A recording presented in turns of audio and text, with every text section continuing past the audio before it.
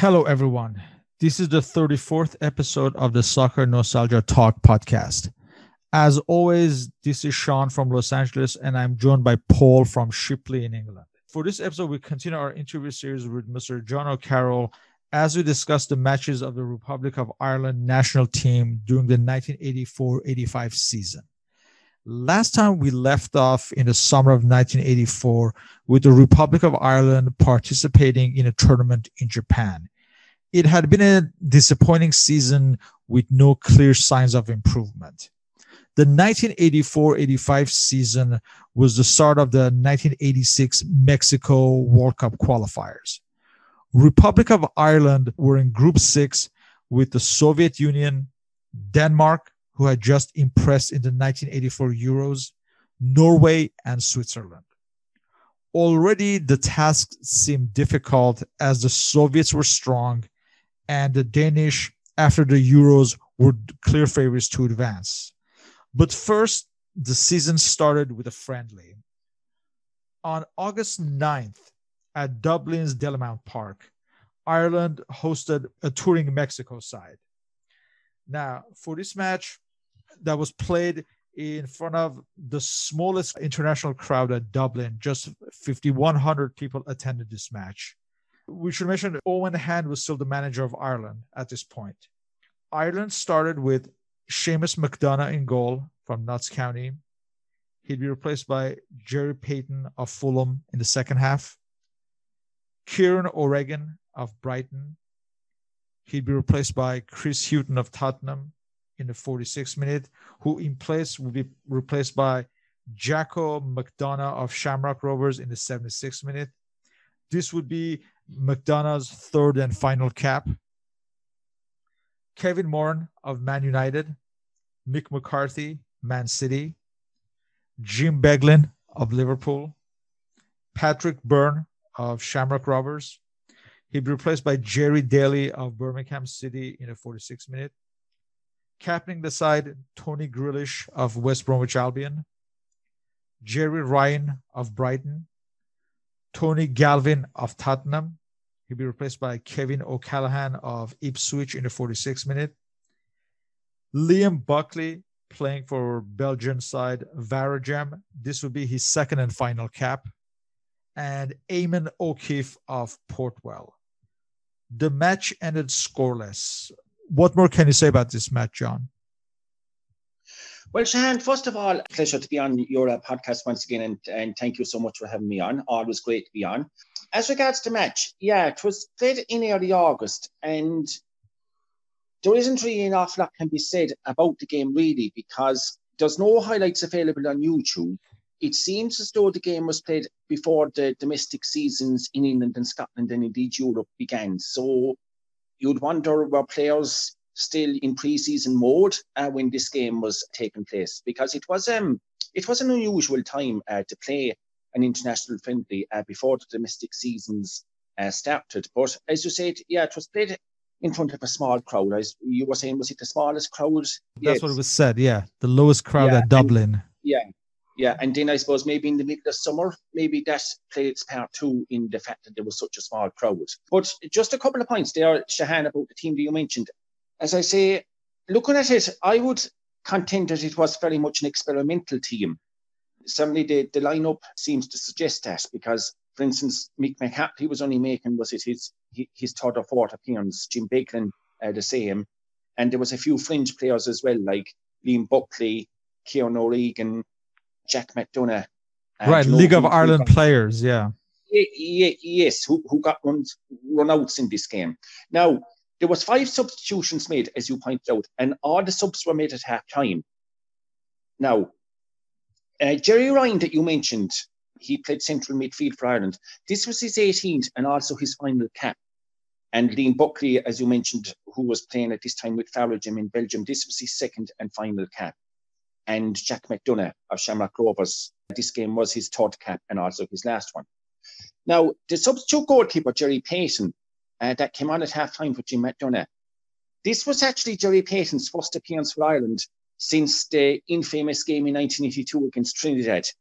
So he sort of, Seamus McDonagh, you know, kind of had you could say, unbroken service in goal for Ireland from September of 82 up until this particular friendly. And then, of course, Packy Bonner too had come on the scene as well at this stage. So, I mean, there was even competition, say, when it came to uh, the goalkeeping slot. But as I say, Gerry Peyton came on a half and that was his first cap since the game against Trinidad. From a Mexican point of view, I suppose in many ways, the most well known player at this time, Hugo Sanchez, he did not play in this match. But a couple of players who came to prominence in the 86 World Cup did play, and namely um, Javier Aguirre and also Tomás Boy. And as we'll see, they played a prominent role in Mexico's run to the World Cup quarterfinals uh, in 1986. And we should mention but, um, they were managed by Bora Milutinovic as well. Oh, absolutely, yeah, yeah, yeah. And I mean, Bora must have some kind of a record because is it is it four different countries he has taken to four different World Cup final tournaments or, or something like that? Yeah, Mexico, Costa Rica, USA, Nigeria, and China, I believe. Yeah. Oh, oh yeah, yeah, five, yeah. five. Yeah. yeah. So yeah, yeah. So I mean, you know, he certainly has um, a unique claim to uh, fame uh, in that respect. But as regards the game itself, as I say, five thousand uh, of an attendance, it was really no surprise that the game was in Dalymount Park. And as I say, an experimental team, uh, no footage on YouTube, which would suggest to me that maybe the game wasn't screened even in highlights format here in Ireland. So there isn't really an awful lot more can be said about this particular game, except that he would have served, of course, as a warm up to the big qualifying game in the following month in September, which was the Republic's opening qualifying game for the 86 World Cup against the Soviet Union. On September 12th at uh, Dublin's Lansdowne Road, the Republic of Ireland started World Cup qualifiers taking on the Soviet Union. For this match, Eoin Hand started with Seamus McDonagh in goal, Notts County, John Devine of Norwich City, David O'Leary of Arsenal, Mark Lawrenson of Liverpool, O'Leary and Lawrenson will form the central defensive pairing. Chris Hughton of Tottenham, Ronnie Whelan of Liverpool, Tony Grealish captaining the side from West Bromwich Albion, Liam Brady playing for Inter in Italy, Tony Galvin of Tottenham, Mickey Walsh of Porto in Portugal. He'd be replaced by Eamon O'Keefe of Port Vale in the 80th minute, the late Michael Robinson of Liverpool. And we should point out that Frank Stapleton missed this match through injury. He was recovering from a knee operation. That's why Mickey Walsh replaced him in the lineup. Kevin Sheedy also had an ankle injury and was unavailable. So Tony Galvin replaced him in the lineup. Also, let me go through the Soviet lineup. Rinat Dasaev of Spartak Moscow, Tengiz Sulakvelidze of Dynamo Tbilisi, Alexander Chivadze, the captain of Dynamo Tbilisi, Sergei Baltacha of Dynamo Kiev, future Ipswich Town player, Anatoly Demyanenko of Dynamo Kiev, Sergei Aleinikov of Dynamo Minsk, future Juventus player, Vladimir Bessonov of Dynamo Kiev. He replaced by Andrei Zygmantovich of Dynamo Minsk in the 32nd minute. Gennady Litovchenko of Dnipropetrovsk, the Armenian Horen Oganessian of Ararat Yerevan. He's replaced by Sergei Gotsmanov of Dynamo Minsk in the 67th minute. The 1975 Ballon d'Or winner Oleg Blokhin of Dynamo Kiev. And finally, Sergei Rodionov of Spartak Moscow. And the side was managed by Eduard Malofiev as far as the match itself, Ireland would win 1 0. Walsh would score the winner in the 64th minute. The rundown of the goal was basically Whelan would win the ball in midfield and give it to Robinson, who crossed from the right side and Walsh knocked it in. We should also point out that in the 88th minute, the Soviets almost scored an equalizer when Rodionov struck the crossbar and also Litovchenko had a shot rebounded off the post. So Ireland won, but perhaps maybe they caught the Soviets in an off day. In retrospect, perhaps at least started the qualifiers in the right foot. What do you remember from this match? Yes, Shahan. Well, First of all, uh, the, the, full game itself is actually available on YouTube and it was shown live in Ireland uh, back in September of 1984. So it obviously was a big deal, you know, to have such a team as the USSR coming to Dublin. It was a tea time kickoff. Strange as it may seem, Lansdowne Road actually not have floodlights. And in actual fact, Lansdowne Road was to not get floodlights until the autumn of 1993. So it's only up to um, the end of 1983 anyway. Any Republic of Ireland international soccer games that were played in Lansdowne Road were, had to be all played during daylight hours, which of course caused its own problems in itself in that many supporters, particularly when the team was going well in the Charlton years, often had to take a day off work to support the team. Anyway, I'll discuss this Soviet game in a moment, but I suppose just to give a quick overview of the qualifying group that Ireland were in for the 86 World Cup. They were in with the Soviet Union, of course, as we know. They were also in with Norway, uh, Switzerland, and Denmark. And an interesting point to note is that in the preceding three years, in other words, from 1981 up to 1984, the four opponents that Ireland would face in World Cup qualifying, i.e., Switzerland, Norway, Denmark, and the Soviets, had all beaten England, you know, either in friendly matches or competitive games. So, I mean, this qualifying group was not going to be an easy group by any stretch of the imagination because, I mean, you had Denmark who really came to prominence at Euro 84. Denmark, of course, had qualified for that tournament by uh, finishing ahead of England. And in Euro 84, they reached the semi final of it. So they were going to be a serious player in this qualifying group. The Soviet Union, of course, they as okay, they didn't qualify for Euro 84, but they were they were always a strong team. And going into this match against the Republic of Ireland, they were on a 12 game unbeaten run, I believe. And in fact, their their previous international against England at Wembley, the previous June, had resulted in a 2 0 win for the Soviets. So, I mean, they were obviously a very good team as well. And of course, I mean, Switzerland and Norway, at this time, you could regard them as minnows, but at the same at the same time, they could not be taken for granted because in the 82 World Cup qualifiers, as I said, both Switzerland and Norway had defeated England. So on their day, and particularly when Switzerland and Norway were playing at home respectively, they could be quite sticky opposition for even the best of teams. So it was really a minefield of qualifying group. But as you mentioned, Shahan, the Republic, they certainly commenced this qualifying campaign on the front foot. The uh, 28,000 supporters saw them win 1 0 with the goal that you outlined there after 65 minutes. And um, it's well worth a look at on YouTube because it was a well constructed move and it was finished gloriously by Mickey Walsh. And in an overall sense, this will be remembered as one of the better performances of the Republic of Ireland under Eoin Hand's reign as manager. It was a game where the Republic clicked.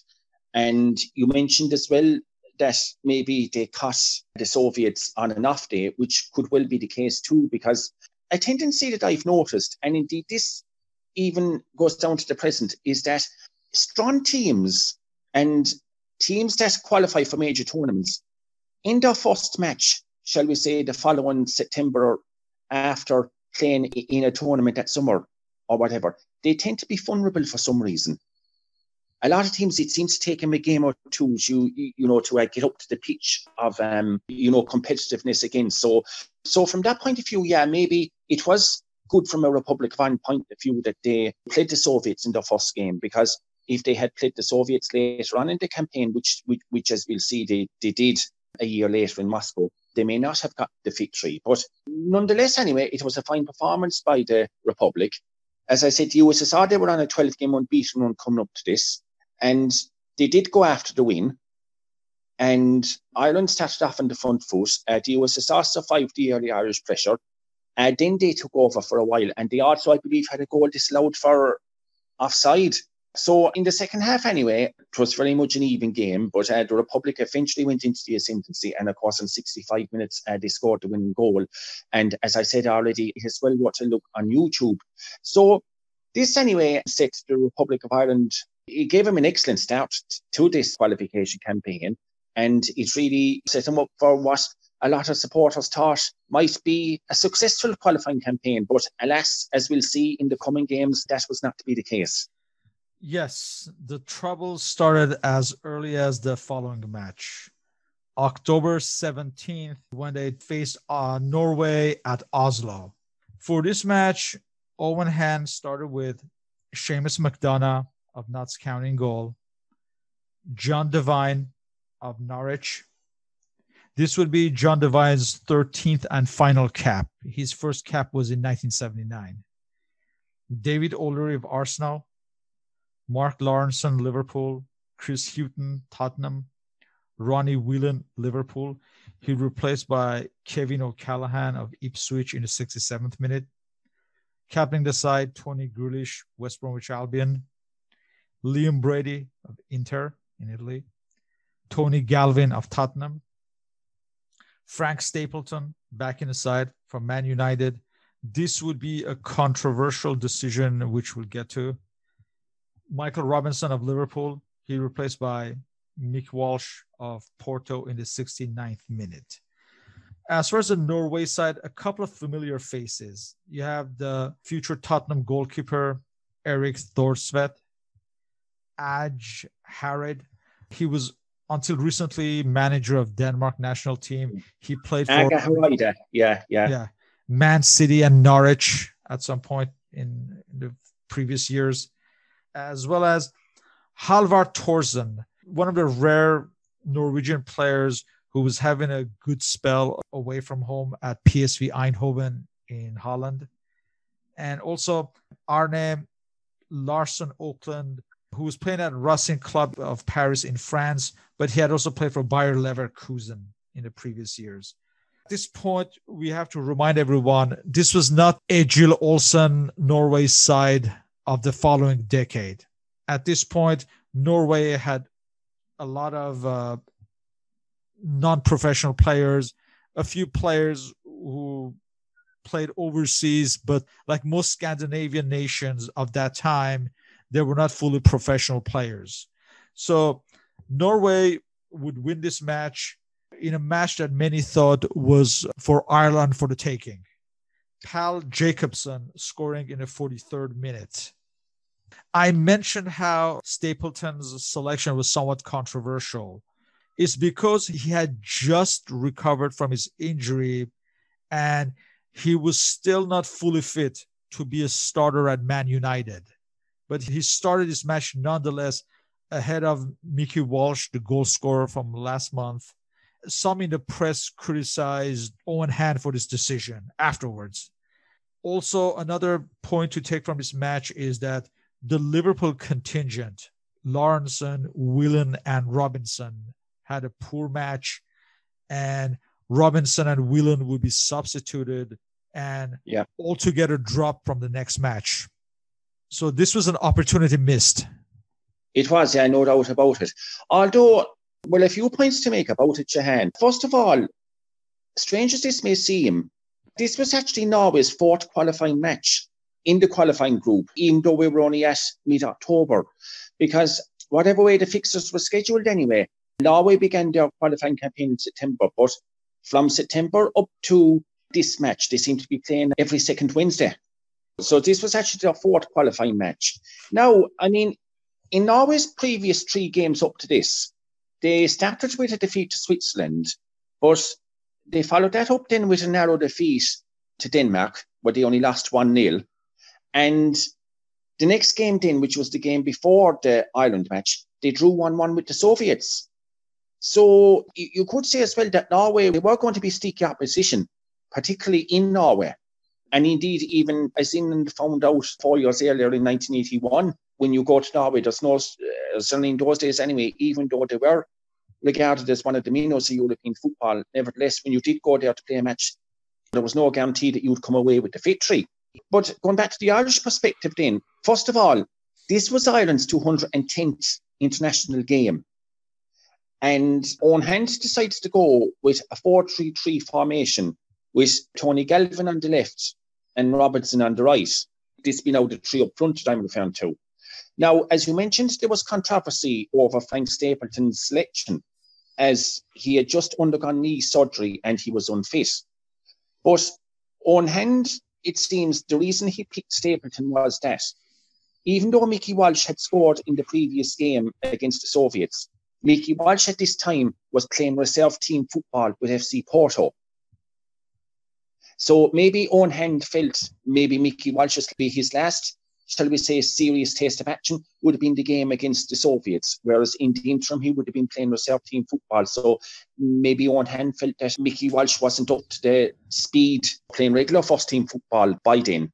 Now, there was two substitutions uh, made in this game. First of all, on 65 minutes, uh, Kevin O'Callaghan came on for Ronnie Whelan, as you mentioned. And then, actually, at the same time, Mickey Walsh came on for Michael Robinson. This game against Norway was Mickey Walsh's 20th cap. I'll just quote a bit from Eoin Hand's autobiography about this game. And what Eoin Hand says is that the game plan for this game was to get the ball out wide in order to stretch the play because the Norwegians tended to play a lot through the centre. For the first 30 minutes or so, this tactic worked. As Tony Galvin and Chris Hughton were getting over crosses, Liam Brady had space in the middle. Uh, Ronnie Whelan and Frank Stapleton apparently missed two easy, easy enough chances. Now, for some reason, I suppose after half an hour, Ireland's play then became tentative. Maybe I suppose maybe, you know, kind of when their opening period of dominance resulted, you know, didn't result in any rewards on the scoreboard, maybe a degree of impatience and maybe a small bit of frustration began to set in. But two minutes before half time, and Norway struck on the counter attack through Pal Jacobs, Jakobsen, and he got goal side of Mark from a true ball and scored. Now, in the second half, Norway sat in their lead. They camped inside their own half and remained defensive.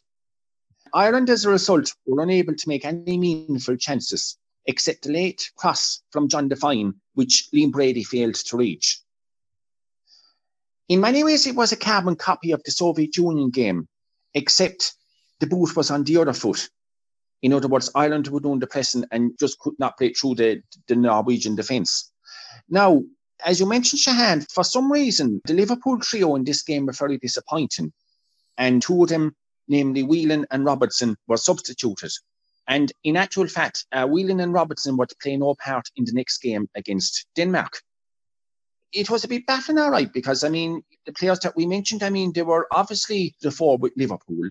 And maybe for some reason they found it hard to transfer their club form onto the international stage, which I mean was a criticism that was levelled at a lot of Irish players, not just Liverpool players. I mean, the same criticism was levelled at Frank Stapleton and Liam Brady and some others as well, in that the perception seemed to be that these players tended to play better for their clubs rather than their country. It was a really disappointing performance, and, and in many ways, it undone the good start of the victory against the Soviet Union. Of course, that meant the pressure was back on Eoin Hand ahead of the next game, which was a month later on the 14th November against Denmark on November 14th, Denmark, rising power in Europe, at Copenhagen hosted Republic of Ireland. We mentioned earlier how impressive Denmark had been in the 1984 Euros, as well as the previous Euro qualifiers where they had eliminated England. For this match, Eoin Hand starting with Seamus McDonagh of Notts County goal, Mark Lawrenson of Liverpool, David O'Leary, Arsenal, Mick McCarthy of Man City, Jim Beglin of Liverpool. So Mick McCarthy was in center of defense, and Lawrenson shifted to right back in place of Devine. Liam Brady of Inter in Italy, Tony Grealish of West Bromwich Albion, Kevin Sheedy back in the lineup from Everton. Everton would have a magnificent season that season were winning the league title and a Cup Winners' Cup. Tony Galvin of Tottenham. He replaced by Kevin O'Callaghan of Ipswich in the second half. Frank Stapleton, captaining the side from Man United. And Mickey Walsh of Portuguese club Porto in his 21st and final cap. His first cap had been in 1976. Beglin started at left back in place of Hughton. So there's some lineup changes from previous match, but it was too novel against this strong Danish side. And let's just run through the Denmark side, managed by the West German Sepp Piontek. You have Ole Kvist of KB, John Sivebæk of Vejle, future Man United player, Morten Olsen captaining the side from Anderlecht, Soren Busk of Belgian club Ghent, Ivan Nielsen of Feyenoord, Klaus Berggreen of Italian side Pisa, Jens Bertelsen, French club Rouen. He'd replaced by Jan Molby of Liverpool in the 57th minute. Frank Arnesen of Anderlecht, Soren Lerby of Bayern Munich, Michael Laudrup of Lazio in Italy, Preben Elkjær of Verona in Italy. He replaced by Kenneth Brylle of PSV Eindhoven in the 64th minute. The Danish side ran out as 3-0 winners with Elkjær scoring twice in the 30th and 46th minute, Lerby scoring in the 55th minute looking ahead to what happened in the following year, perhaps the Irish got off lightly in this match, in fact. Yeah, you could say that, Shahan. Um, it was a really sobering experience. And just to quickly run down the team again, uh, as I mentioned, there was no Ronnie Whelan or Michael Robinson uh, for this game because they paid the price for their uh, poor displays against uh, Norway. Jim McDonagh, the goalkeeper, uh, this was his 20th cap. And actually, two players in the defence made their competitive debuts for Ireland, and namely Mick McCarthy. This was his fourth cap, but all his three previous caps had all been in friendly games. So this was his first competitive start for the Republic. And also Jim Beglin, this was his competitive uh, debut for the Republic also, even though he had played a couple of friendly games prior to this. Two players booked, Tony Grealish after nine minutes and Tony Galvin after 28. Frank Stapleton, yeah, 40th cap for him. And he also captained the team. One substitution made. Kevin O'Callaghan of Ipswich came on at half time for Tony Galvin. And maybe that could have been down to the fact that maybe Tony was Tony Galvin was carrying a yellow card. So of course another yellow would have meant the Republic would have been down to 10 men. So maybe that would have been maybe a reason why Tony Galvin was taken off at half time. Apparently the game plan from an Irish point of view, Shahan, was to contain the Danes and catch them on the counter attack. Now, after 15 minutes, Tony Grealish was fouled in the penalty area, but nothing was given. So maybe if a penalty had been given at that stage, the result could have maybe a little bit different because if the Republic, say, had scored that penalty, it would have given them something to hold on to. But the goals then, after 25 minutes, at Tony Grealish, uh, for some reason, he played a ball backwards, a stray ball, uh, the ball went right to Elkjær's feet. Uh, Elkjær got past O'Leary and from the right shot across Seamus McDonagh to make it 1 0. Second half then, the second half had just begun when Frank Stapleton was caught in possession on the edge of the ditch penalty area. Denmark swept up the pitch in a whirlwind move. Laudrup crossed to Elkjær in the six yard box, and Elkjær flicked up the ball and toe poked it past Jim McDonagh for the second goal. And after 55 minutes in, another fire movement, a quick fire 1 2 on the edge of the Irish box. Soren Lerby broke free on the left and shot underneath Jim McDonagh to make it 3 0. Denmark could have won by much more, in fact. And Sepp Piontek, uh, the Danish manager, when he was interviewed after the game, he actually bemoaned the chances they missed in this game, which he felt could have helped their goal difference. So really, that wasn't saying much about the Irish performance when you have the opposition manager talking about or, or bemoaning the fact that uh, Denmark weren't able to improve their goal difference in this game. Apparently, the only consolation now there's only brief highlights of this on YouTube, so the YouTube highlights don't tell us an awful lot about the game itself as a whole, apart from the Danish goals. But the only consolation in this game apparently was the performance of Jim Beglin, who by all accounts turned in a fine performance. But Mick McCarthy, you know, he was exposed in this game for a lack of pace. And his performance in this game suggested that he would be only backup for David O'Leary, Mark Lawrenson, and Kevin Moran. Now, following this defeat, Ireland were now in a weak qualifying position because, you know, for having won their opening, they had last two on the spin, which meant they only had two points from their opening three qualifying matches. And some of media at this stage were already calling for Eoin Hand's head. FAI uh, summoned him to, Mer- to headquarters in Merrion Square in Dublin to discuss the situation in front of the entire FAI committee.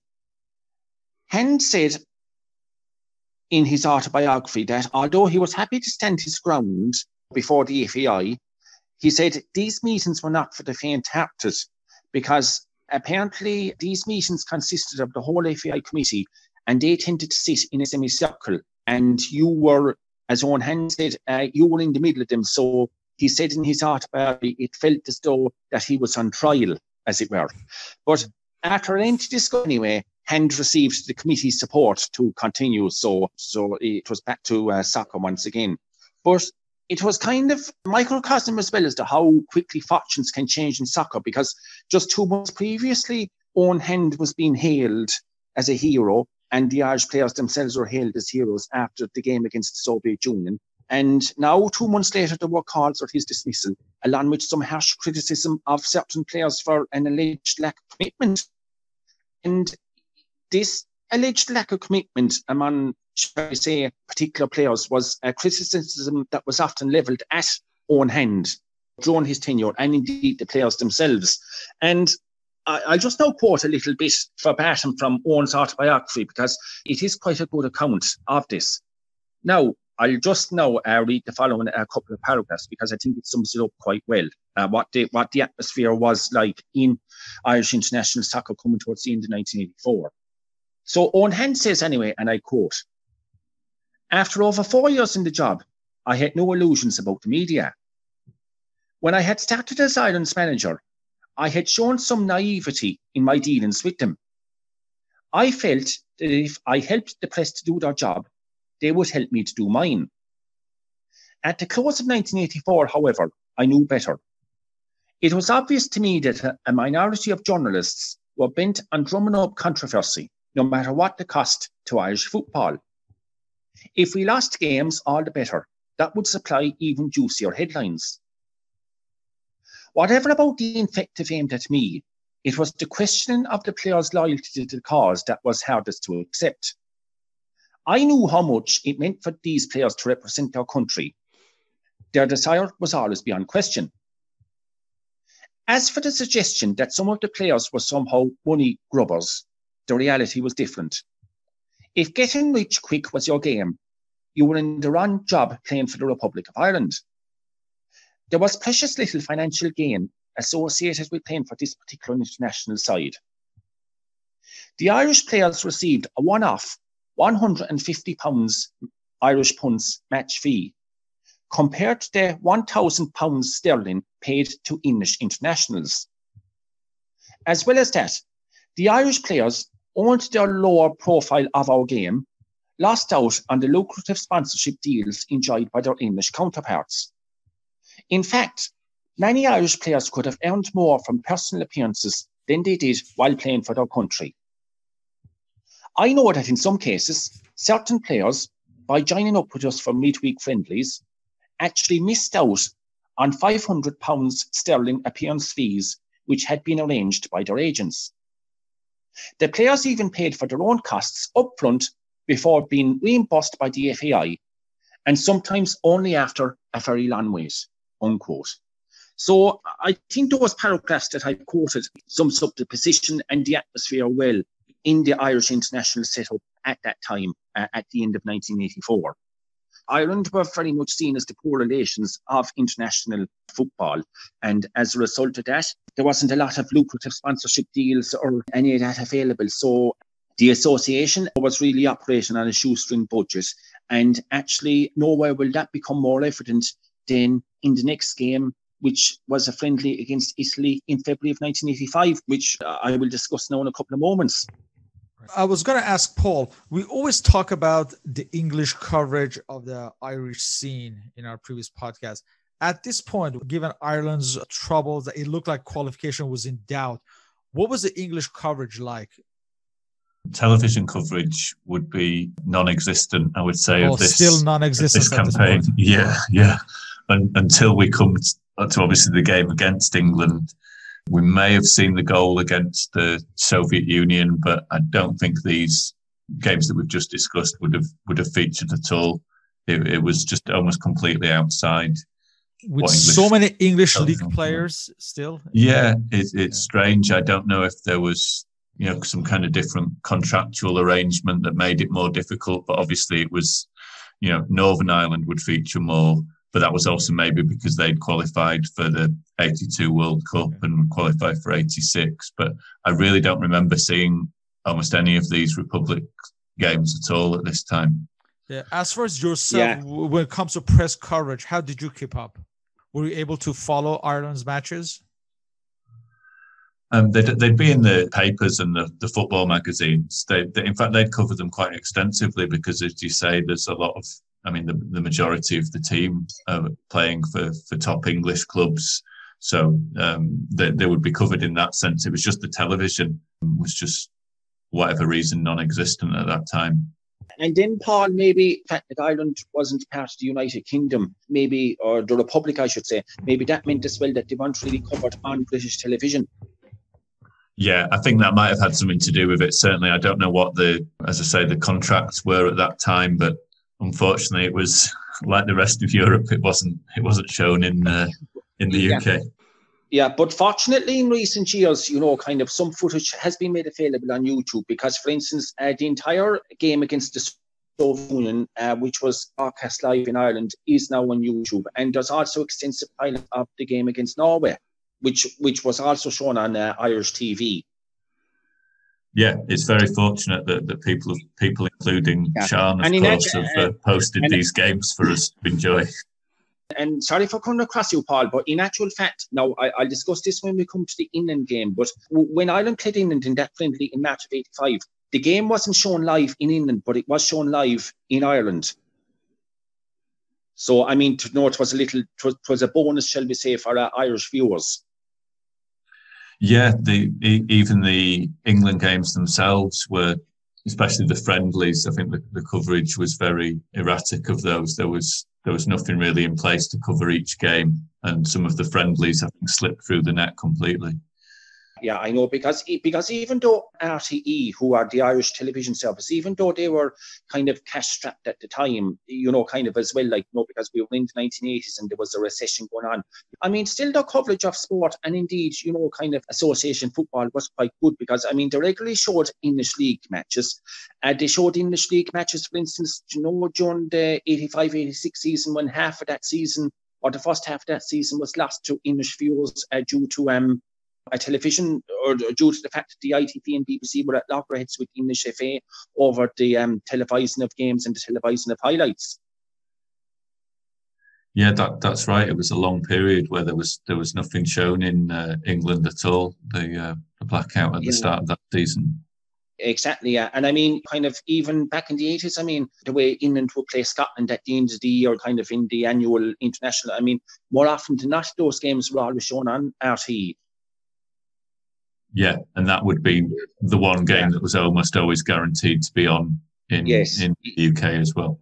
Yes, and I even remember as well, Paul, uh, in the lead up to Euro 88, even though I know now we're kind of jumping ahead for a moment, but in the lead up to that, even RT showed a couple of the England warm up games for us. Uh, the game against Scotland in May, and then I think the following Saturday, they also played Switzerland in a friendly in um in Switzerland. So that game was televised live as well. So I mean, RTE kind of for a small enough uh, television network, I mean, they were given reasonably good coverage. Yeah, that, that that's good. I mean, but, but for some reason, yeah, yeah, but but for some reason, kind of the Denmark, the Ireland Denmark game from '84, for some reason on YouTube, there's only a couple of minutes highlights uh, on it, which basically are the Denmark goals and little else. Yeah, it's hard to imagine. Myself and Sean end up discussing this most weeks. The lack of coverage, certainly in the UK, of international football. it's it's impossible to imagine now that these games just weren't weren't shown at all. Yeah, yeah, yeah, yeah, absolutely, of course.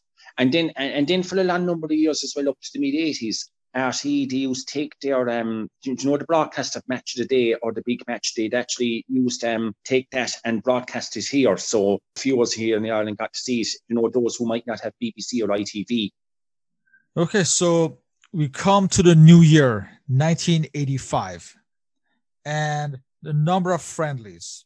So, first on February 5th at Dublin at Dalymount Park, Ireland took on defending World Cup champions Italy. There's some controversy as far as the fact that the match was played at Dalymount Park and not at Lansdowne Road. Uh, That's because, right, yes. Mm. Because 40,000 fans, more than 40,000 fans were expected for this match against the defending World Cup champions. In fact, the game was delayed by 15 minutes to accommodate the extra crowd. For this, the FAI did not look good for not anticipating such a crowd. Yeah. So yeah, yeah. So section of the crowd were allowed to get close to the touch lines, and this was also one more reason why Dalymount Park was not regarded as a future international yes. venue. Yeah, Shahan. Well, before we get on to the actual game itself, I think, you know, kind of the, the offence, you know, kind of the off the field offence, shall we say, of that night, I think are worthy of, of discussion as well. Just to give a, a small background to it, despite their failure to qualify for Euro 1984, the then current world champions Italy was still a huge draw for the Irish soccer public. Now, due to the demands of Italian television, the match was played at a floodlit Dalymount Park. Because, as I said already, Lansdowne Road did not have floodlights until late 1993. Now, the game was covered live in Italy, but it wasn't covered live in Ireland. Going back to 1985, 1985 was a long time before UEFA licensing. And because of that, 40, in excess of 40,000 people crammed into Dalymount, which had a maximum capacity at this time of 35,000 people. And even 35,000 was a stretch you, you know, you really would be packing people in there to get 35,000 people in there. So in excess of 40,000 people turned up.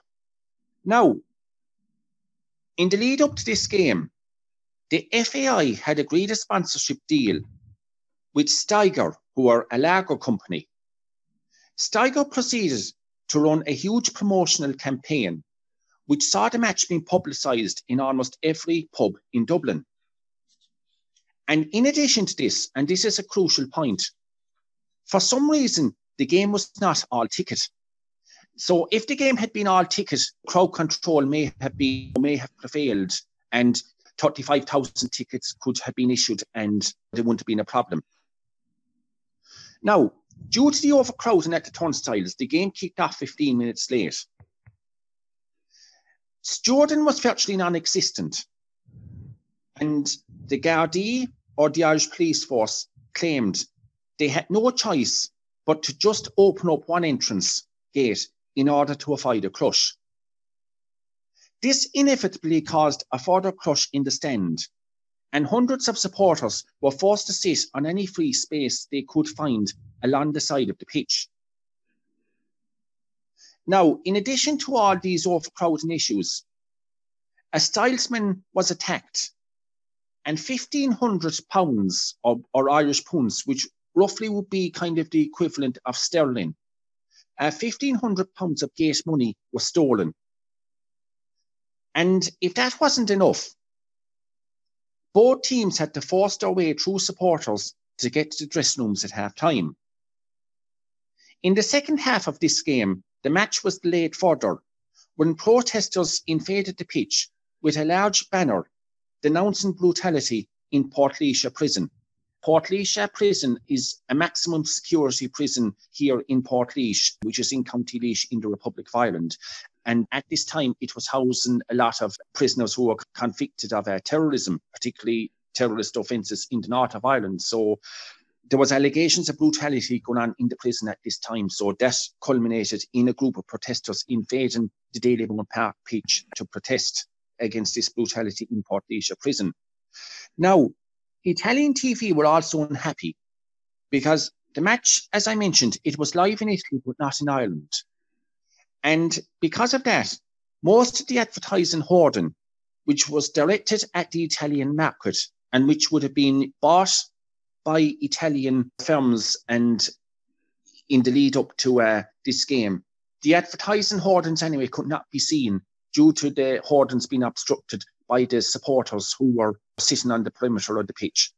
So that really was, so I mean, it was quite a build up, like kind of the off the field activities certainly were maybe in some ways were are still talked about to this day. And um, it really held at the end of Dalymount Park as an international venue because it was clear from then on that Dalymount Park was no longer equipped to hold international matches. Certainly, international matches where you had one of the major powers of soccer playing there. Now, there was a couple of internationals played in Dalymount Park in later years, if I recall. Uh, there was a match in November of 87 against Israel, which was a friendly. That was played there. And there was the game in February of 1989, another friendly against France. That was played there as well. But the last international that was played there was actually in September of 1990. It was the Republic's first match after Italia 90, and it was a friendly that September against Morocco. So really, kind of the few internationals that were played at Dalymount Park after 1985, they were kind of the, the opposition, maybe with the exception of France, the opposition, you know, to be great crowd pullers. So, I mean, as regards major competitive games, Dalymount Park was out running, but it was used on a couple of occasions up to 1990, and then it kind of ceased as an international venue.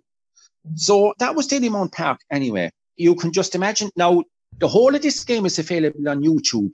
It was the, the footage that was broadcast in Italy, and uh, it is quite a sight because, I mean, as I've already described, you have footage of supporters on the sideline and advertising hoardings are obscured with supporters and so on. But fortunately enough, the Irish supporters, well, first of all, it, it was all, you could say, uh, it was a completely Irish support because Italy had little or no supporters with them. And fortunately, the Irish supporters over the years and even today, they have a reputation of being very well behaved. So even though they were sitting kind of on the touchlines and they were on the perimeter of the pitch, you know, there was no instances of crowd trouble or crowd disorder or anything like that. Because I can only just imagine, you know, kind of if a similar situation occurred in England, would the match have been able to proceed at all? Because unfortunately, with uh, some English supporters, you kind of, I've no doubt that rioting would have But fortunately, anyway, as I said, the, the Republic of Ireland supporters, you know, they have gained a good reputation over the years for being well behaved. So, kind of, obviously, the, the police, uh, when they were shepherded them onto the perimeter of the pitch, they were obviously told, you know, to sit down and um, not obstruct the play as best they could, and uh, they done that. But at one stage, anyway, in the second half, Paolo Rossi went over to take a corner, and he actually had to plead with the supporters to uh, actually move back, you know, to give him room to run up and you know run up to the ball and uh, take the corner. So, so that anyway was the was kind of the shall we say the side plot to the game itself. But to go on to the game itself now, Shahan, would you like to run through yes. the teams? Packie Bonner back in the lineup from Celtic. This must have been his first match. Maybe I don't know. Did he play the previous season? I don't recall. He may have, maybe uh, friendly. Yeah, he played. Yeah, he played in November of '83 against Malta in the oh, so it'd been a, it'd been some time since he was in the squad. So he was yeah. back in the lineup. Chris Hughton of Tottenham, Jim Beglin, Liverpool, Mark Lawrenson of Liverpool. Interestingly, he'd be injured in the fifth minute when he tackled Altobelli in the box, which led to a penalty kick. And after a few minutes, he'd be replaced in the ninth minute by international debutant Paul McGrath of Man United. You have Mick McCarthy of Man City, Liam Brady of Inter in Italy, playing against some of his teammates, Kevin Sheedy of Everton, Gary Waddock of Queen's Park Rangers, Tony Galvin of Tottenham, He's replaced by Ronnie Whelan in the 29th minute. Frank Stapleton, captaining the side of Man United. John Frederick Byrne, international debutant from Queen's Park Rangers. And he'd be replaced by another debutant, Alan Campbell of Spanish side Racing Santander in the 76th minute. And quickly going to the Italy side, we have Franco Tancredi of Roma, Giuseppe Bergomi of Inter, Antonio Cabrini of Juventus, Pietro Vierchowod of Sampdoria, Gaetano Scirea of Juventus, Salvatore Bagni of Napoli, Bruno Conti of Roma. He replaced by Giuseppe Dossena of Torino in the 72nd minute. Captaining the side, Marco Tardelli of Juventus, Paolo Rossi of Juventus. He replaced by Aldo Serena of Torino in the 72nd minute, Antonio Di Gennaro of Verona, and Alessandro Altobelli of Inter in the side managed by Enzo Bearzot. So we mentioned Mark Lawrenson's foul that led to the penalty kick in the fifth minute that was scored by Paolo Rossi. In the 18th minute, Altobelli doubled the lead. And Ireland would pull a goal back in the second half in the 53rd minute through Gary Waddock. But all in all, it was the events off the field that overshadowed anything on it. Yeah, yeah, that's absolutely right, Shahan. First of all, just just a couple of points about the team selection. Now, Lawrenson, that as you mentioned, went off after five minutes. This was actually his 30th cap for the Republic. He injured himself actually, as you say, when, when he fouled Altobelli for the penalty, which was actually it was something of a reckless foul, and of course Paolo Rossi then scored from the spot. Now he injured himself, as you mentioned, in the process, and he was replaced in by Paul McGrath this was Paul McGrath's debut, and by all accounts, anyway, he used class in the game. Kind of, he, he had a very smooth uh, international debut. It proved to Eoin Hand and everybody who watched the game that he was a player who was able to hold his own and be comfortable with the demands of international football. But an interesting story about Paul McGrath is that, as you know, this was his debut Ireland. It was actually also the first time he was called up to the Republic of Ireland squad. So, of course, Paul, in his naivety at the time, he didn't understand the concept of teams meeting up in the team hotel maybe a couple of days before the game or maybe the day before the game or whatever. So the night before the Italian game, Paul McGrath actually spent the night, he overnighted at his mother's house in Crumlin, which is a suburb of Dublin. And he said afterwards, he said, in his naivety, he thought, why waste a hotel bed when his mum lived relatively close by to Dalymount Park. So, Eoin Hand anyway, for the finish had to explain to him the next morning the whole principle of team getting together and bonding as a unit.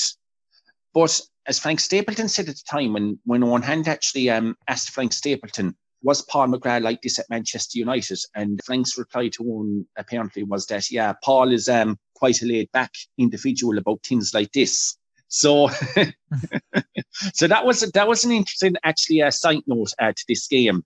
So, as I say, after five minutes, anyway, Italy went ahead with the Paolo Rossi penalty, and after 18 minutes, then Altobelli held off Paul McGrath in the box and scored following a, loss of possession by Hughton. The ball subsequently played into Altobelli, and he done the necessary.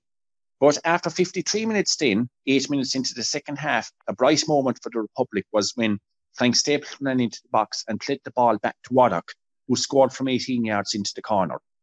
Now, as I was saying, the whole of this game is available on YouTube. And for anybody who kind of wants to see organized chaos suddenly from, you know, an off the field point of view, uh, it's, it's good viewing.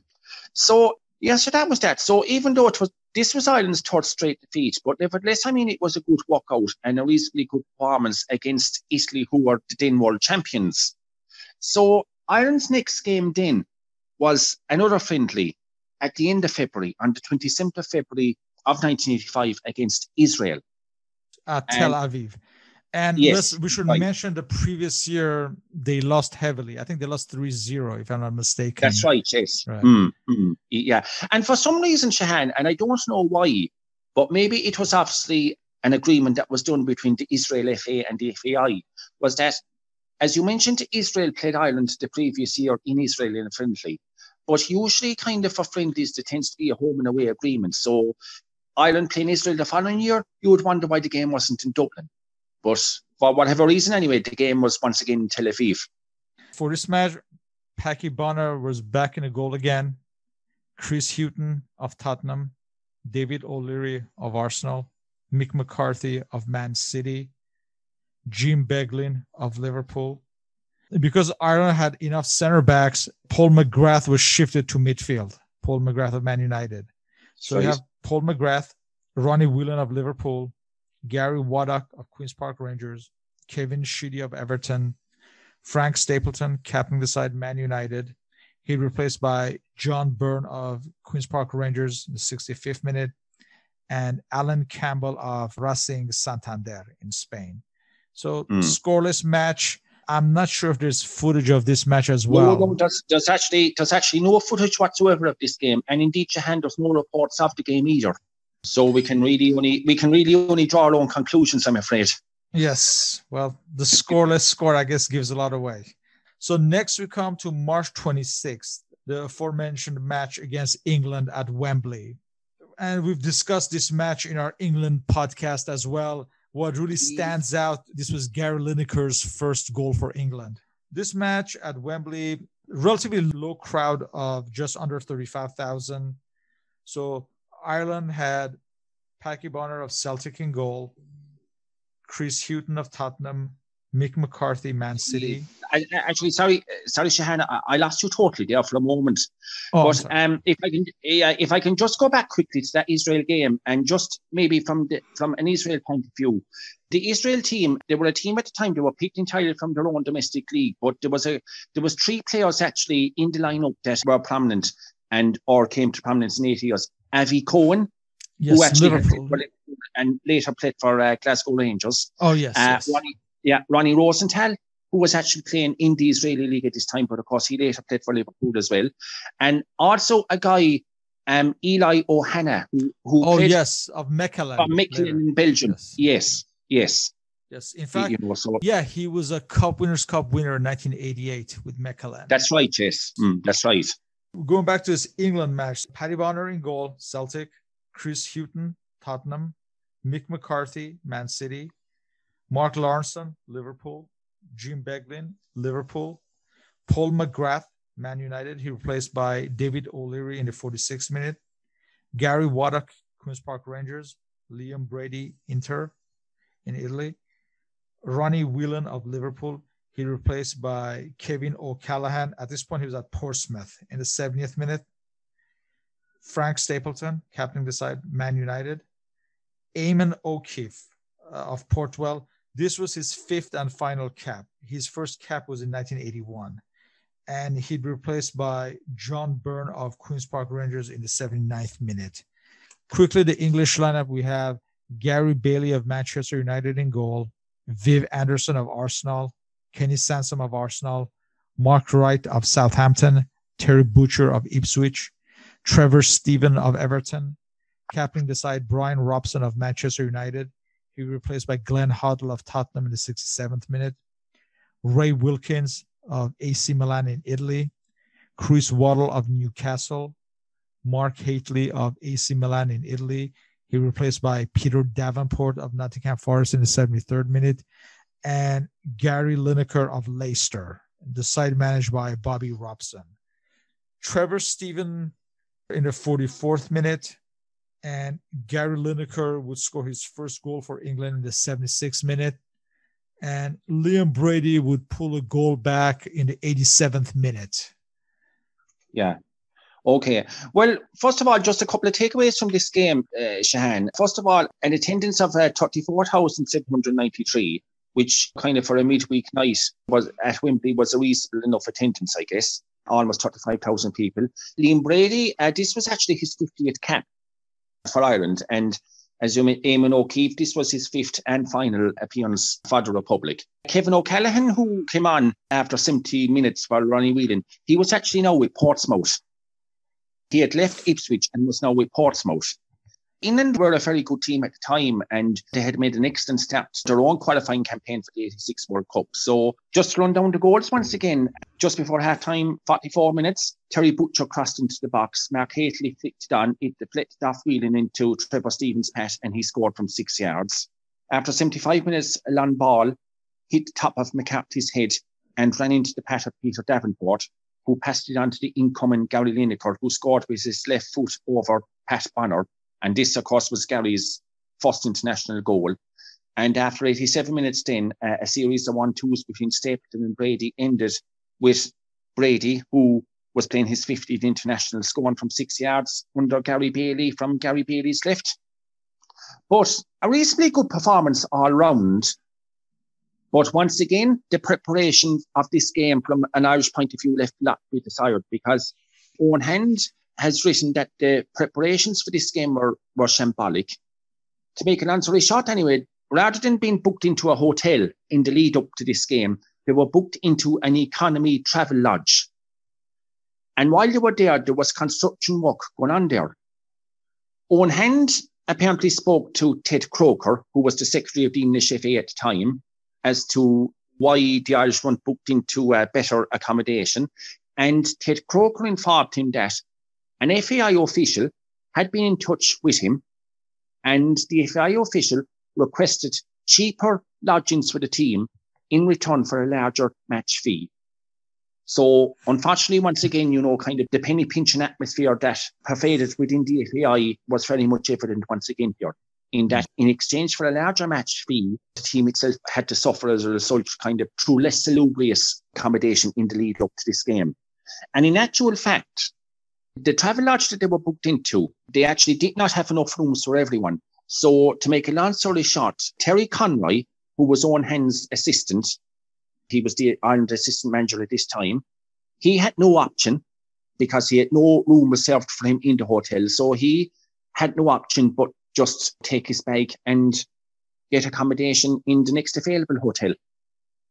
So yeah, so I mean, unfortunately, you know, kind of it did not reflect once again on the FAI, but and you know, Shahan kind of and um, you know, several players prior to this time have touched on this. Maybe this kind of contributed as well on occasions to players not making themselves available to play for the Republic. Like you can tell Jackie Charlton would not have stood for something like this. No, no. And of course, I mean, as we all know, but kind of what it then unfortunately, as we know, it continued on. Maybe not so much through Charlton's era, but certainly kind of maybe through the McCarthy era as well. The Mick McCarthy era as manager, it pervaded, and of course, it came to um, it came to uh, as we all know, an unceremonial blow up in Saipan in 2002 between Mick McCarthy and Roy Keane. But as I say, I mean, kind of, it did not reflect well on the FAI because, I mean, kind of, they were perceived by many and it was easy to see why as just being out to make a fast buck and a penny pinching organisation. Eoin Hand says in his book that um, around this time he spoke to Frank Stapleton, who of course was with Manchester United, and Frank said to him that any time Manchester United played in London, they always stayed at the upmarket Lancaster Hotel. So, I mean, kind of if Roy Keane had been around in 1985, I don't know. I don't know what he, anyway, for starters, would have made of uh, this, but uh, there you go after these uh, three friendly matches, you're back to the qualifiers. Yes, that's the right. End of the mm. season on May 1st at Dublin's Lansdowne Road. Ireland took on Norway. Again, this should have been a match for the taking for the Irish. So many things to take away from this match. First of all, let's go through the lineups. Ireland started with Packie Bonner in goal, Celtic Glasgow. David Langan back in the squad from Oxford United. He'd replaced by Paul McGrath in the 83rd minute. And, and actually, sorry, Shahan, if I can just come in there, uh, Dave Langan of Oxford United, this was his 16th cap, but this was his first appearance for Ireland since the game against France in October of 1981. So yes. he had been out of the international scene for quite a while. Yes, his international mm. career in general was very sporadic, even into the yes. Jackie Charlton era. So mm. in the center of defense, you have Mark Lawrenson, Liverpool, and David O'Leary of Arsenal, Jim Beglin of Liverpool, Gerry Daly of Birmingham City, Liam Brady of Inter. He'd be replaced by Ronnie Whelan in the 67th minute. In fact, Brady received a medal before the kickoff in recognition of his 50th cap. So you have Gary Waddock of Queen's Park Rangers, Tony Galvin of Tottenham, Frank Stapleton captaining the side, Manchester United, and Michael Robinson back in the squad. At this point, he had joined Queen's Park Rangers. Again, as far as the Norway side, you have the familiar faces of Erik Thorstvedt, Åge Hareide, and Hallvar Thoresen and Økland. This match ended as a scoreless tie, and we also should point out that Stapleton had a goal that was disallowed, and Ireland were missing Hughton and Sheedy. And incidentally, I'm not sure if this is the only time, but they wore those yellow hoop shirts for this match. Was this the only time they wore those shirts? Do you know? Is that the, the yellow hoop shirt, shall we say, going down the from the shoulder, is it? I believe so. Yeah, it's like uh, I'm not sure if it's a collectible item, but uh, I'm not sure if they wore it too many times. Yes. Yeah. And some critics believe that some of the Liverpool contingent had the Champions Cup in their mind at the end of the month. Some Manchester United players had the FA Cup final in their mind that was coming up. And Brady had a poor match and he was substituted. And this was considered very controversial at the time. And after the match, Eoin Hand and the players were booed. And Hand described this match as perhaps the worst display of any Irish team I had managed. And in fact, he after the match in the dressing room, he told the players that he was going to resign. And as according to him, he could not give him any direction.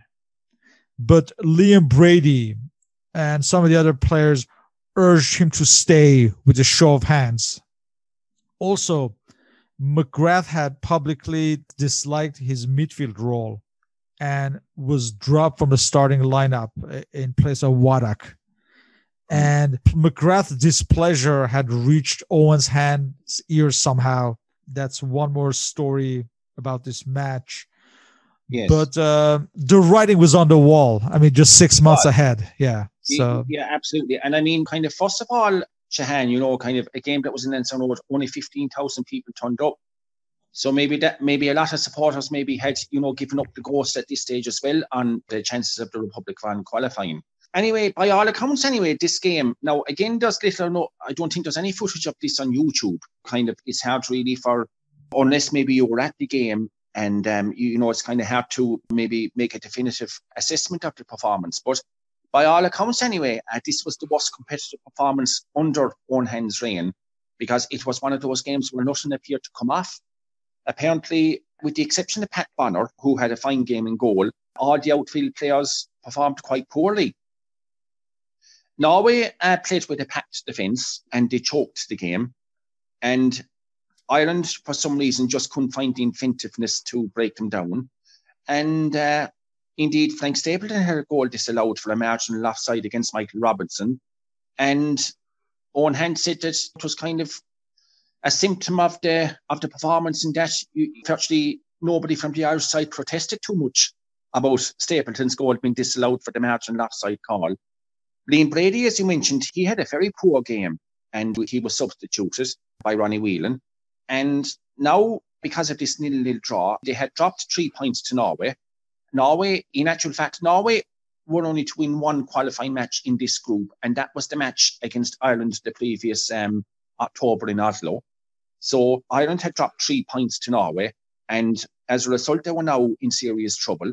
And in a particularly unsavoury episode, at the final whistle, a number of fans turned on the team and the team management at the final whistle. And as you mentioned, uh, Shahan Eoin Hand offered to resign at that stage, but the players urged him to stay on. And going back to Liam Brady for a moment, as we alluded to, uh, this was one of his poorer performances. But maybe one of the reasons why his display was so poor was that for some time before this, he had been targeted by some fans for what they perceived to be ineffective displays. And by all accounts, apparently he tried too hard in this game as a result. But unfortunately, this had the opposite effect in that it culminated in one of his worst performances for the Republic. Now, sadly, however, and this is not in keeping, I have to say, with Irish soccer support as a whole, but Lawrie McMenemy, who was then the Southampton manager, he attended the game. And after the game, he left the ground with Eoin Hand but as Lawrie and Eoin Hand were leaving the ground, some fans verbally attacked both of them.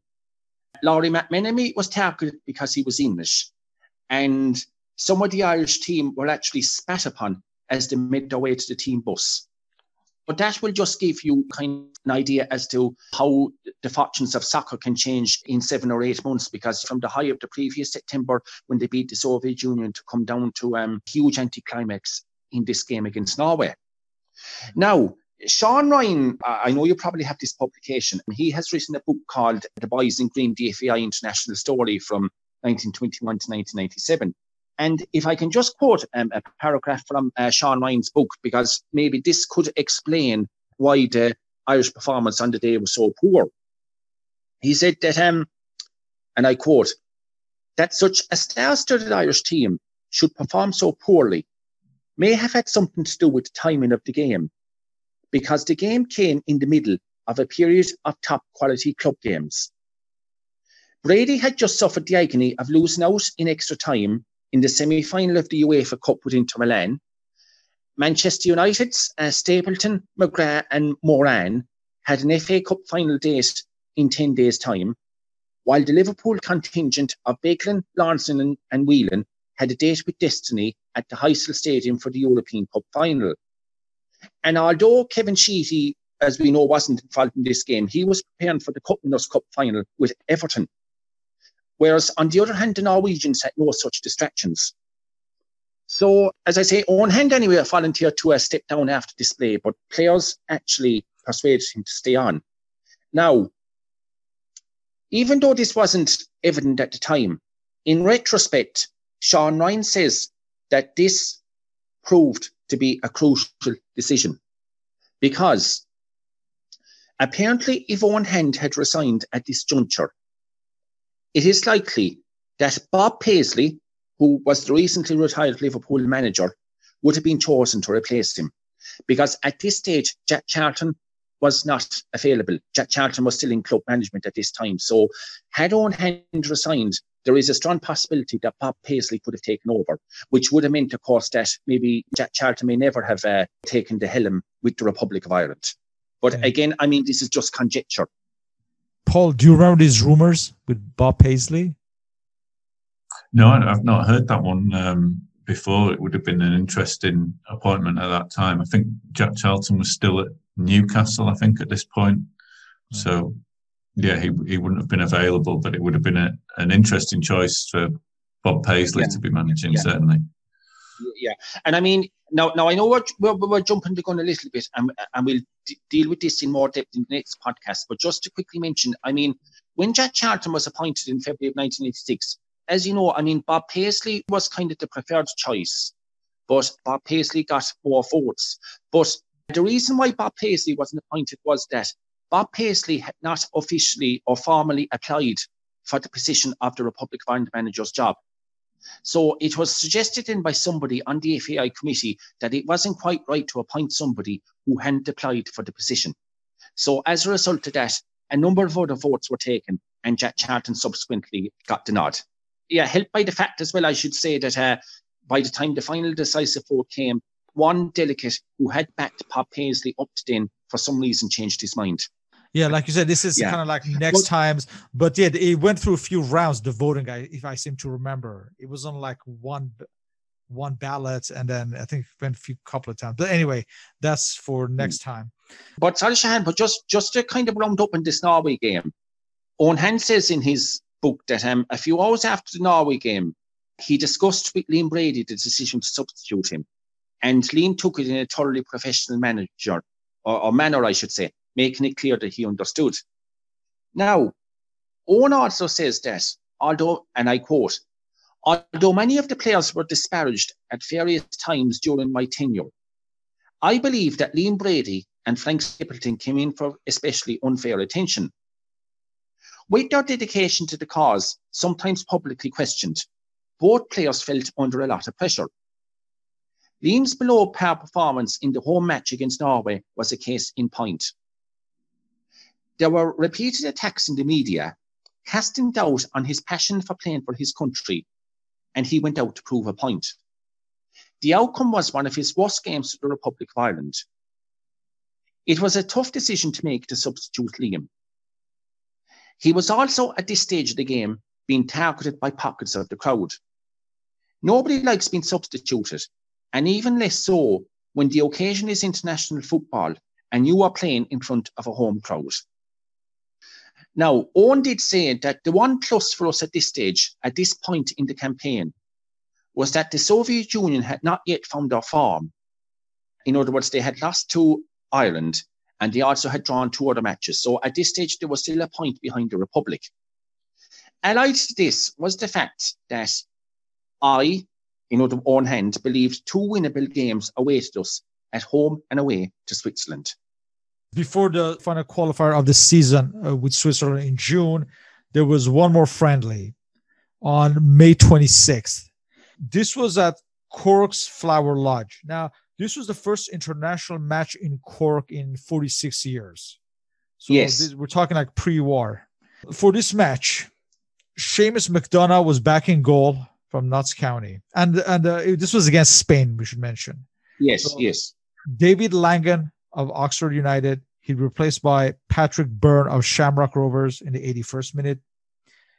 David O'Leary, Arsenal. Mick McCarthy, Man City. Chris Hughton of Tottenham. He'd replaced by Kieran O'Regan of Brighton in the 65th minute. This was O'Regan's fourth and final cap. His first cap was in 1983. Yeah. Gerry Daly of Birmingham City, Gary Waddock of Queen's Park Rangers, Liam Brady capping the side this time from Inter in Italy, Tony Galvin of Tottenham. He'd be replaced by Tony Grealish of West Bromwich Albion in the 25th minute. I have to assume it must have been an injury if it's that early. Alan Campbell of Racing Santander playing his third and final match for Ireland, all of them in 1985. And Michael Robinson of Queen's Park Rangers. The Spanish lineup we have Andoni Zubizarreta of Bilbao, Gerardo of Barcelona, Antonio Maceda of Sporting Gijón, Andoni Goicoechea of Bilbao, Jose Camacho of Real Madrid, Victor of Barcelona, Ricardo Gallego of Real Madrid. He replaced by Ramon Caldere of Barcelona, Rafael Gordillo of Betis. He replaced by Julio Alberto of Barcelona in the 76th minute. Marcos Alonso every time we mention father of current Chelsea player of Bar, this is of Barcelona. He'll be replaced by Roberto Marina of Atletico Madrid. Carlos Santillana of Real Madrid. He'll be replaced by Manuel Sarabia of Bilbao in the 85th minute and Hipolito Rincon of Betis and the side manager by Miguel Munoz. Be a scoreless match and I don't know if there's footage of this match as well. No, there's actually no match footage whatsoever. No match footage. Right. Mm. Yeah. Now, just maybe a, couple of quick points. First of all, first of all, maybe a quick word about the venue itself. It was played, as you mentioned, in Cork in a stadium called Flower Lodge. Now, Flower Lodge was the home of uh, Cork Hibernians and later Cork Alberts, who were uh, League of Ireland soccer teams in the 1960s and 1970s. After 1985, well, actually, the present League of Ireland t- soccer team in Cork, or Cork City, uh, they were formed in 1984 and they played their matches at another soccer ground in Cork called Turner's Cross. So as a result, uh, Flower Lodge kind of went into uh, Flower Lodge anyway was in disuse for a number of years, and um, it's still there today as a Gaelic Games stadium uh, you know, Gaelic games, uh, hurling and Gaelic football, which would be the Irish national sports. Uh, it was purchased by the Gaelic Athletic Association about um, 20 years ago or so because it was no longer in use as a soccer venue and it was getting quite dilapidated at this stage. So uh, the ground is still used, but it is no longer used uh, for soccer. So moving on to the Spanish team, then, yeah, by all accounts, by looking reading down the lineup there that you mentioned, uh, it's quite a strong Spanish team. So maybe for the Republic to get a nil-nil draw was a reasonable result. But then you have to remember as well that Spain were going through something of a sticky patch at this time as well, because in the few months previous to this game, uh, they had lost two World Cup qualifying games themselves. They had lost to Scotland and they had also lost to Wales. So, although Spain were to ultimately qualify for the 86 World Cup as group winners ahead of Scotland and Wales, they had lost to both Scotland and Wales. So you could say that maybe the Spanish team were going through something of a sticky spell at that particular period. Just anyway, just to go back to the, the Irish team for a couple of moments, Shahan, Jim McDonagh, the goalkeeper, he was now with Gillingham. And in Campbell, as you mentioned, this was his third and final cap.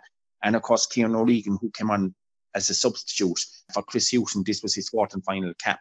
Now, unsurprisingly, uh, there was no Liverpool player selected because the European Cup final in the Heysel Stadium was on the following Wednesday, which was three days later. So, needless to say, there was no Liverpool player selected. Manchester United had just won the FA Cup, so there was no Man U player selected. And of course, Kevin Sheedy had just come off, I suppose, an arduous season with Everton, you know, winning the league, winning the Cup Winners' Cup, and then losing the FA Cup final to Manchester United. So he wasn't selected either. So, in many ways, it was an Irish team without, say, Liverpool, Manchester United, and Everton players. So experimental, now, yeah. Yes, yes. So you could say maybe even though in the absence of match footage, it's impossible to um, say say definitively. But kind of looking at the two lineups on paper, you could say that maybe a nil-nil draw was was a reasonable result. Now, Eoin Hand states in his autobiography that after this game against Spain, he was made aware of a failed attempt within the FAI to oust him as manager in the lead up to this game. Because by all accounts, an FAI delegate had led an unsuccessful coup against Eoin Hand because he was the delegate was apparently hoping to get a bigger gate or a bumper gate for this international game by having the publicity of a new manager installed in time for this game. So again, that's another story or an anecdote in Eoin Hand's autobiography. Who did it have lined up? Well, it, that that's not clear, but may, possibly Bob Paisley. Because you know, kind of Bob Paisley was kind of currying a lot of favour among the higher ranks of the FAI at this time, and he was also available because he had retired as manager of Liverpool. And indeed, the following year, actually, Des Casey, who was the FAI president, actually approached Bob Paisley directly, uh, visited him in person, and had kind of uh, talked him into agreeing to take the manager's position. So we come to the end of the season. The last qualifier for the season on June 2nd at Dublin's uh, Lansdowne route with Ireland taking on Switzerland. Now, for this match, you have Seamus McDonagh back in goal. You said at this point he was not Notts County player, but he had been loaned to Gillingham. I believe, yes, that's right. That's okay. right. Yeah. Then you have David Langan of Oxford United, David O'Leary, Arsenal, Mick McCarthy, Manchester City, Jim Beglin, Liverpool, Gerry Daly, Birmingham City. He replaced by Ronnie Whelan in the 46th minute. Tony Grealish of West Bromwich Albion. He replaced by Paul McGrath of Manchester United in the 63rd minute. Liam Brady of Inter. Kevin Sheedy of Everton. Frank Stapleton captaining the side from Manchester United and Michael Robinson of Queen's Park Rangers. And quickly going through the Switzerland lineup, you have Karl Engel of Neuchâtel Xamax. He replaced by Eric Burgener of Servette in the 23rd minute, so must have been an injury. Alan Geiger of Servette, Heinz Ludi of FC Zurich, Roger Wehrli of Grasshopper, Charles in Alban of Grasshopper, Andre Egli of Borussia Dortmund in West Germany, Umberto Barberis of Servette. He replaced by George Bregy of Young Boys Bern in the 59th minute. Heinz Hermann of Grasshopper, Michel Decastel of Servette, Christian Mate of La Chaux-de-Fonds, and Manfred Braschler of St. Gallen, side managed by Paul Wolfisberg. So this match, Ireland would win 3 0. Frank Stapleton would start the scoring in the eighth minute. Tony Grealish would score the second and 33rd minute.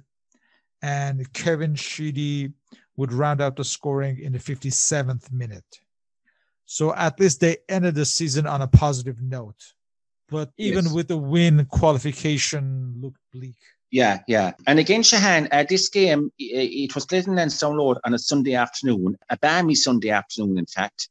And but unfortunately, once again, a crowd of just 17,300 uh, people were present. So, as I mentioned, like with the poor attendance in the Norway game, maybe a lot of people had given up the ghost of the Republic qualifying at this stage for Mexico 86. But as you mentioned, Shahan, it was a good all-round performance. In in many ways, I suppose it was the best performance of their qualifying campaign, along, with, of course, with the victory over the Soviet Union. And of course, what was notable as well was that uh, the previous Wednesday, of course, you know, the tragedy in Heysel took place. So great credit was due to the Liverpool contingent of players for making themselves available to play uh, the following Sunday because I'm sure it wasn't easy for them coming off the back of a tragedy such as the Heysel Stadium disaster. Sir uh, John, uh, do you think the low turnout maybe had to do something with that as well?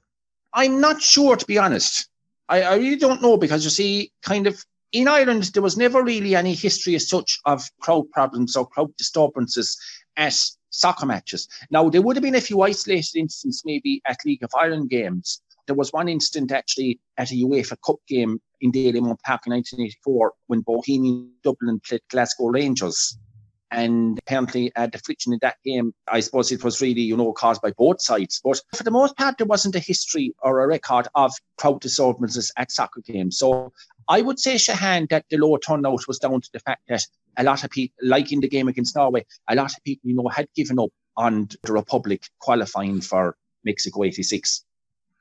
But anyway, but just anyway to um to go back to just a, a few takeaways from this game, Shahan. Tony Grealish and Kevin Sheedy, they returned to the midfield in place of Gary Waddock and Tony Galvin. And Grealish and Sheedy, they added work rate, skill, and clinical finishing to the midfield department. And after seven minutes, Kevin Sheedy, he sent a free over to the Switzerland back post where Dave Langan crossed first time on the volley for an in-Russian Stapleton to score from close range. After 33 minutes, Tony Grealish broke from deep and he slipped through the Swiss man marking and scored with a lovely flicked header off the post. And after 57 minutes, Kevin Sheedy rounded off the scoring when he ran onto a long pass and coolly slotted home. Now, the entire game is available on YouTube, and it was uh, one of the better Republic of Ireland performances in this era. And I actually saw the game myself a while back, and another notable performance was actually the performance of Jim Beglin. He really played quite well in this game because he was constantly going forward and offering Ireland an attacking outlet. He was going forward all the time and sending over crosses and so on and, and making breaks from deep. So, all in all, anyway, this was a comfortable victory for the Republic and it was an all round good performance. But it seems what could have been a major factor in this performance being so good was that the majority of the squad had been together for 10 days before the game. And this was a luxury that Eoin Hand seldom had during his time as Ireland manager. So because they were together for 10 days before the game, Eoin Hand was able to uh, give him a lot of quality time, as it were, in preparing for the game and, you know, working on training and set pieces and so on, and tactics. So Ireland actually topped the table after this game, even though they were only top for a couple of days, because the following Wednesday, Denmark played the Soviet Union in Denmark. But this win anyway took some of the pressure off Eoin Hand for a little while anyway, uh, as generally over the summer months of 1985 until competitive action resumed the following September again. So all in all, Shahan, kind of for a non-tournament year, kind of it was notable that they played 10 international matches, kind of with varying degrees of success, or maybe, or, although I suppose maybe more often failure than success. But there was a couple of high points in that season, uh, namely the win against the USSR, uh, the win against Switzerland, and of course even the two friendly defeats against Italy and England. Because although these friendlies ended in defeats, uh, the performances in both games was quite encouraging. And of course, there were a few new players from it as well, players such as uh, Paul McGrath and John Byrne, for instance. My takeaway is that obviously, because I'm able with hindsight, I can see what's going to happen next. But yes. nevertheless, it didn't look like Ireland had much chance of qualifying. Certainly, yeah, there's some introductions like McGrath and players as such. But as a whole, you could not see Ireland dislodge either the Soviets or Denmark from qualifying.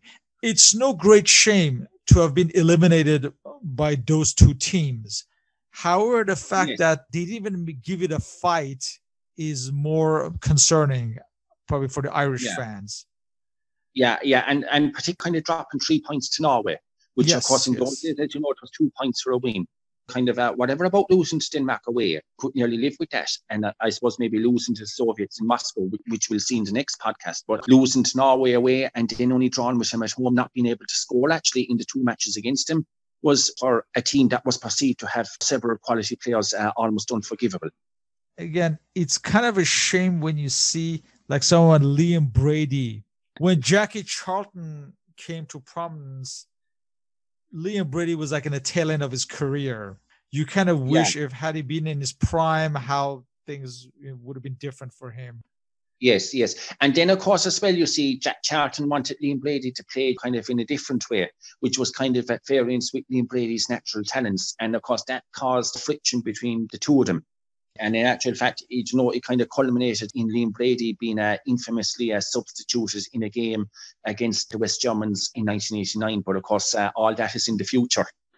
Jim Beglin probably stood out as as a defender, and we said McGrath as yeah. a hope for future. Now, Sheedy now, as well, maybe. Now, on hand too, actually, around the time of the Norway game, Ray Houghton who, who of course, you know, was to come to prominence in later years. Uh, he was with Fulham at the time. And around the time of the Norway game in 1985, he expressed an interest in declaring for the Republic. But for some reason, Eoin Hand uh, never followed up on it. Yeah. So maybe if Eoin Hand had followed up on it there and then, he might have eased the pressure on Eoin somewhat. It fed into the perception as well, which some critics used as a stick to beat Eoin Hand with, was that he was loyal to a particular core of players. And rightly or wrongly, this was levelled as a criticism against him. So, John, over the, the course of this season in particular, there's uh, until that last game against Switzerland, there's very few goals being scored as well. That's Do you right. think that was yeah, yeah, the, yeah, yeah the, possibly the major because, weakness? I mean, yeah, because I mentioned in my earlier podcast that um, throughout 1984 and 1985, uh, the Republic played 16 games and they only scored eight goals.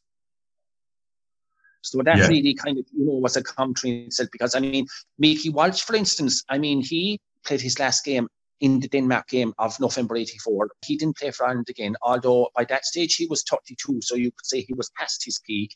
And then Frank Stapleton, even though he was a magnificent servant to the Republic, he wasn't a prolific international goal scorer. Yeah. When you mentioned Ray Houghton, another player who would later play for the Republic was John Aldridge. And this was yes. one of his best seasons. Uh, Oxford got promoted and he was the top scorer in, in that division. Was he available at this time? Had that, had he been approached? Do you know? Because well, he might have also made a difference to this team. Yeah, as far as I'm aware, he wasn't approached. Now, whether that was down to kind of maybe kind of a lack of knowledge on from, from the Irish side that someone like John Aldridge was eligible to play, or maybe it was maybe down to the, maybe the, the drawn power of Charlton. I mean, I mean, it's really hard to know because I'll come to this actually in the next podcast. But throughout this time, you see, Eoin Hand, he was kind of, he never really knew from game to game, you know, what players were available to him, because like there was no such thing in those days of having somebody walking in the FAI offices in Dublin the weekend before an international game, which internationals tend to be played midweek in those days. There was nobody in the FAI who would, the weekend before the game, uh, check with the various clubs in England as to did players pick up injuries and who say was available, say for the for the upcoming international game in midweek and who wasn't.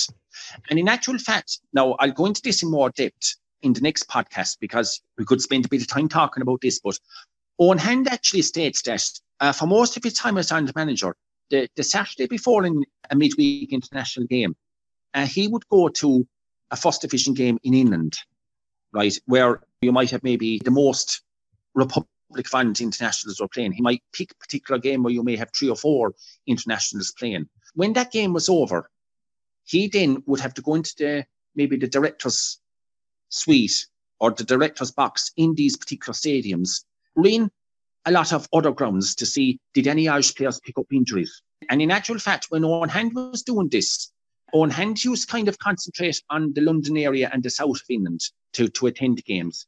And his assistant, Terry Conroy, would go to games in the north of England. I think Terry was based in Stoke at this time or that area. So Terry would have concentrated in the north of England and he would have done the same thing because on one occasion, actually, Eoin Hand was at a first division game and he was actually alongside Bobby Robson. So when the game was over, anyway, I, I think it could have been a game at White Hart Lane.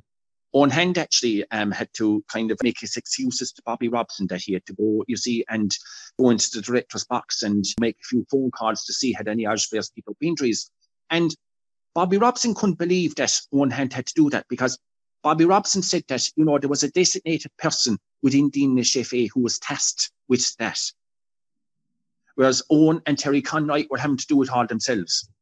What Eoin said was that, you see, by not kind of doing this, you were leaving yourself open then, you see, to maybe getting phone calls on, on Sundays or whatever, or, or, or indeed Monday mornings if players didn't show up and you would have to chase in as to why you'd, you'd contact the clubs then as to why players didn't show up and then you would be informed that they had picked up a knock or picked up an injury or whatever. Yeah, yeah, it was really kind of, it was really an amateurish setup, but um, it didn't reflect well on DFAI at the time and there isn't really much more that can be said about that really, unfortunately. Only it did not, needless to say, it did not lend itself to kind of the Republic of Ireland becoming a serious international player in international football. For just a few years at least. That's right. Is there any, any other points or questions that you two gentlemen would like to make? I guess for me, as I stated earlier, the fact that Outlook didn't look good and maybe the win over Switzerland kind of masked some of their deficiencies that they had before. Yeah. But then, Shahan, you could counter that too by saying that the win against Switzerland, it did mask some deficiencies, but then that was the only game where Eoin Hand had his squad together for 10 days before the match. So he he really could invest a lot of time into pairing the team and going through tactics with him or whatever as he said at one stage, he said, you know, for instance, if they had qualified for a major tournament, he would have had, like say, the World Cup 1982, he would have had the team for maybe five weeks before the tournament. So he could really have spent a lot of time, you know, kind of with preparation and discussing tactics and devising formations and game strategies and so on when I see often said, you know, kind of you did not know for sure until the Monday until the Monday before an international game on the Wednesday, you know how many how many players you had available. That was um, a handicap as well. Paul, what are your takeaways from this season? Yeah, I think um, it's interesting listening to John. Obviously, there's a lot going on off the pitch, which possibly explains why I think the Republic are underperforming in at this time. Because when you look at the team, certainly looking at it as an English football fan at the time, there's a lot of players playing for top English teams and they're, they're first choice players at Liverpool, Manchester United, Arsenal, Tottenham, Everton. A lot of very good players, and they don't seem to be performing so consistently when they're when they're playing for Ireland. But I think that John's obviously explained a lot that's going on behind the scenes that's probably resulting in in that underperformance. Yeah, and but then you see as well, Paul. You see, unfortunately, then with some sections of the media and some sections of the supporters, this was kind of misconstrued that these players were not really interested in playing for the Republic. Yeah, yeah, there's that as well. Uh, and, and, as you said, yeah. they're under pressure when they are playing Stapleton and Brady and people. They've got a lot of expectation yeah. to carry. Yeah, and then of course, quick, and, and I'll just mention this quickly again because I, I, I did go into it in my previous podcast. The fact as well that that Northern Ireland performed so well in qualification tournaments at this time so with arguably a smaller pool of players to choose from. That was adding to the pressure on Eoin Hand and, shall we say, uh, the better known Republic for international players as well. Yeah, that, that's true. Arguably, they had a less strong pool of players to, to pick from at that time. So that was uh, the state of Irish international soccer uh, all of uh, 35 years ago at this stage. yes. You know, yeah, hard to hard to believe it's 35 years ago now, but I suppose you know, kind of, uh, it's a sign of the age. You know, the times have gone quickly ever since. And thankfully, for the most part, anyway, after 1985, once 1985 was out from 86 when Jack Charlton took over, uh, you know, kind of the fortunes of the Republic team gradually improved. So, kind of the good days were just a few years away, as it were. Well, our next podcast will obviously touch up on the end of the Eoin Hand era and the yes. transition into the Jackie Charlton era. Yes, indeed. And, yes, indeed. And indeed, the whole process as well, Shahan, which which almost would be what an entire podcast in itself. You know, the whole process as to how Jack Charlton became. Oh yes, the voting and all quite, that. There's yeah, quite a story in it. Yes, there's yes. a lot of stories mm. to discuss for that. Yes, yeah. yes, indeed.